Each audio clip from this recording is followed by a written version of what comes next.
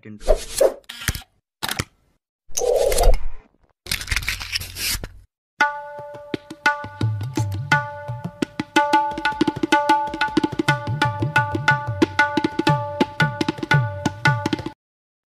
नमस्कार. आरोग्यदाय आयुर्वेद चॅनलमध्ये तुमचे स्वागत आहे. मित्रांनो तुम्हाला जर वारंवार लघवीला येण्याची समस्या असेल तर आजचा हा सोपा घरगुती उपाय करा. तुमची या त्रासातून नक्की सुटका होईल. सर्वसाधारणपणे दिवसातून चार पाच वेळा लघवीला येणे ही सामान्य बाब असते. पण जर दिवसातून आठ दहा वेळेस सतत लघवी येत असेल तर मात्र ते नक्कीच त्रासदायक वाटते.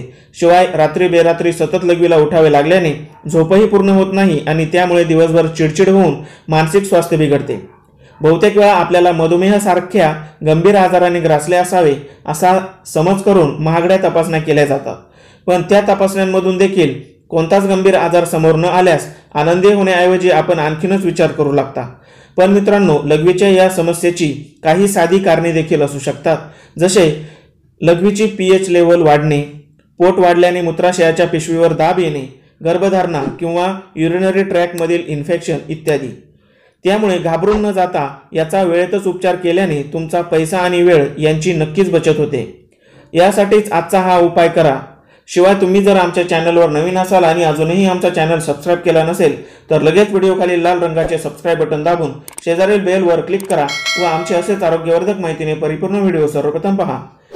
वारंवार लघवीच्या जाचापासून सुटका मिळवणारा उपाय बनवण्यासाठी आपण सर्वप्रथम घेणार आहोत खाण्याचा सोडा. ज्याला बेकिंग सोडा किंवा सोडियम बायकार्बोनेट म्हणून देखील ओळखले जाते. खाण्याचा सोडा प्रत्येकाच्या स्वयंपाकघरात हमखास उपलब्ध असतो. सोडा अँटीबॅक्टेरियल अँटीफंगल आणि अँटी इन्फ्लामेटरी असतो. यानंतरचा दुसरा घटक म्हणजे एक ग्लास पाणी.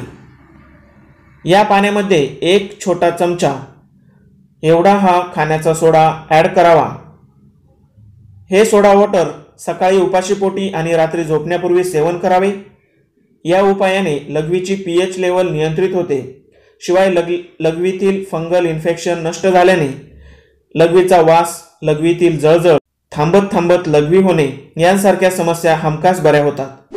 सोडा वॉटरमुळे तुमची बद्धकोष्ठाची समस्या दूर होते. त्यामुळे मल पोटात साचून लघवीच्या पिशवीवर येणारा अतिरिक्त ताण देखील कमी होतो. त्यामुळे सतत लघवीला येण्याच्या समस्येपासून सुटका होण्यासाठी हा उपाय अवश्य करावा. मधुमेह असणाऱ्यांनी हा उपाय टाळावा.